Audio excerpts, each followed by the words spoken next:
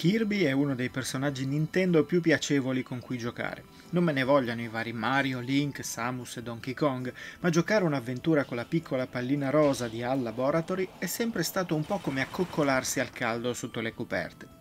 I suoi giochi sono sempre stati molto accomodanti con i giocatori, risultando perfetti anche per i più piccoli. L'importante però è ricordarsi che personaggi buffi, atmosfere colorate e sognanti e un livello di difficoltà molto accessibile non significano obbligatoriamente gioco per bambini. A riprova di ciò ci sono io, 40 anni suonati, e tanti altri giocatori adulti che hanno sempre apprezzato la saga del personaggio, e Kirby e la Terra Perduta non fa eccezione. Prima di continuare, se vi piacciono i nostri video, vi ricordiamo di iscrivervi al canale e di attivare la campanella per essere sempre aggiornati sui nostri contenuti. Le passeggiate per Kirby non si possono considerare particolarmente fortunate, visto che anche stavolta, mentre se ne va in giro tranquillo per il suo mondo, appare un buco nero che lo risucchia in un'altra dimensione. L'evento però porta con sé anche elementi del suo pianeta pop, compresi un sacco di Woodle Dee, gli abitanti del mondo di Kirby. Quello che dovremmo fare arrivati dall'altra parte sarà salvare i tanti Voodle racchiusi in gabbia e nascosti in vari modi nei livelli e infine trovare un modo per tornare a casa, affrontando un'avventura dal classico gameplay platform in cui si devono superare vari mondi tematici a loro volta suddivisi in livelli. Una concezione tipica del genere, se non fosse che fin dall'introduzione ci troveremo a muovere Kirby in un mondo tridimensionale, per la prima volta in assoluto in un gioco di piattaforme della serie. Per chiarire subito come stanno le cose, siamo più dalle parti di Super Mario 3D World che di Super Mario Odyssey in termini di libertà esplorativa, ma ogni livello è un piccolo gioiello di game design pur chiuso all'interno di un percorso molto definito. La terra perduta del titolo ricorda inoltre il nostro mondo, con luoghi come città, metropolitane, centri commerciali e altre location ormai disabitate che con Kirby e i mondi color pastello a cui ci ha abituato sembrano centrare poco o niente. Invece, con l'escamotage di farci visitare posti a noi familiari ma abbandonati da tempo, in cui la natura si è riappropriata dei suoi spazi, si genera una magia inedita che offre qualcosa di davvero nuovo ad un gioco con protagonista Kirby. Il design dei livelli permette di nascondere deviazioni e strade segrete che possono portare ad aumentare il numero di monete o farci trovare uno dei Woodle Dee nascosti. Alla fine di ogni stage c'è sempre una gabbia con tre Woodle Dee all'interno, ma ci sono livelli che ne nascondono anche più di 10.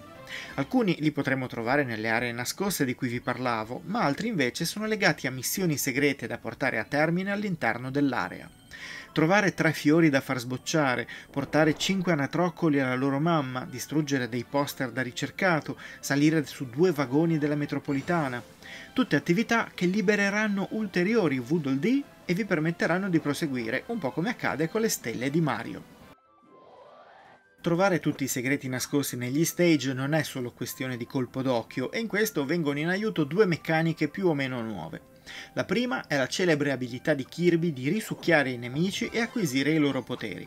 Questi sono una dozzina con celebri abilità che fanno il loro ritorno e alcune inedite come Trivella ed Esploratore, in cui una ci fa scavare nel terreno per poi riemergere colpendo i nemici da sotto, e la seconda ci fa sparare con una sorta di fucile sparastelle.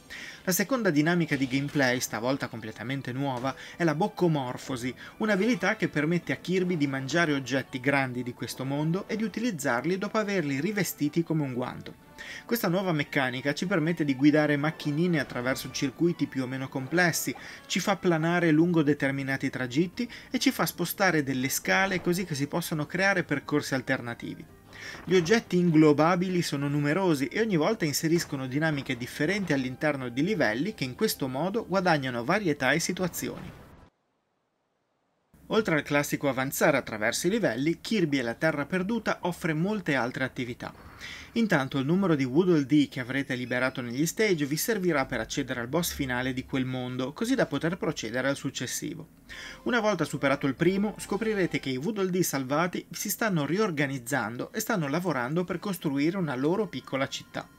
Questo significa che avrete un hub principale in cui vedrete comparire pian piano nuovi edifici con specifiche funzioni. Aprirà per esempio un bar in cui potrete sia comprare cibo per ripristinare le vostre energie, sia giocare ad un minigioco in cui lavorerete come cameriere. Uno dei primi edifici ad aprire poi sarà l'Armeria, un luogo dove potrete prendere il potere che preferite tra quelli che avrete sbloccato, in cui potrete anche potenziarli dopo aver raccolto speciali progetti nascosti nei livelli. La spada diventa così uno spadone, l'abilità fuoco lancerà ora magma incandescente e altre abilità diventeranno più potenti pur mantenendo la loro natura originale. Questi potenziamenti potranno essere comprati investendo monete e cristalli stella, oggetti che si ottengono in sfide speciali che spunteranno regolarmente alla fine di ogni stage completato e resteranno sulla mappa in attesa che le portiate a termine. Si tratta di livelli dalla durata media di un minuto, in cui dovremo usare un'abilità specifica per raggiungere il traguardo e in cui potremo anche capire meglio come usare certi poteri. Se poi volete aggiungere pepe alla situazione, potete anche cercare di completarla entro il limite fissato da Nintendo, così da ottenere monete extra.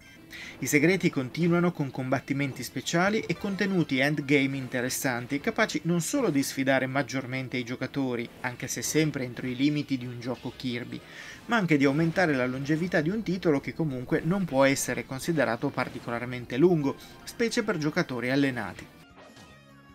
Il livello tecnico e artistico di Kirby e la Terra Perduta si discosta da quanto visto in passato per via del suo completo passaggio al 3D, ma risulta molto convincente proprio perché riesce a mischiare il nostro mondo e quello di Kirby in modo intelligente.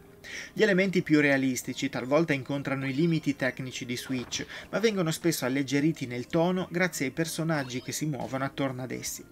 Inoltre la telecamera che ci segue non è libera, ma proprio per questo riesce ad inquadrare sempre l'azione in modo impeccabile, seguendoci quando si svolta in un vicolo, inquadrandoci lateralmente nei passaggi che lo richiedono e tenendo sempre a fuoco l'azione e gli elementi su cui dovremmo concentrarci. I colori accesi sono comunque presenti quasi in tutti gli ambienti e le animazioni funzionano a meraviglia, comprese quelle degli ottimi boss e mini boss. I controlli poi sono eccellenti e reattivi, con l'abilità di volare che viene limitata nei tempi e nelle altezze, per non banalizzare sezioni in cui bisogna salire e sfruttare specifici elementi. Buona anche la fluidità generale, visibile specialmente quando si affrontano sfide come quelle con la macchinina. È anche presente una modalità per due giocatori, in cui un amico può muovere un Waddle Dee armato di lance insieme a Kirby, ma siccome il gioco rimane focalizzato completamente sul protagonista, non aspettatevi dinamiche cooperative reali come quelle viste per esempio in Luigi's Mansion 3. Le funzionalità online invece si limitano alle classifiche e a curiosità. La componente audio è come sempre notevole e godibilissima, con musiche che tornano a farci compagnia e con i classici versetti della serie. Il gioco non è doppiato in alcuna lingua, ma i sottotitoli sono tutti in un ottimo italiano.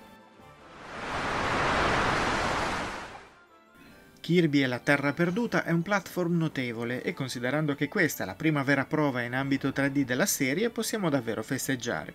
Non ha la grandezza di un Mario, ma una piacevolezza che lo rende accessibile per chiunque, anche grazie a due livelli di difficoltà che possono anche essere alternati a partita iniziata. Chi è nuovo ai platform può acquistarlo senza problemi, un po' come successe qualche tempo fa con Yoshi's Crafted World.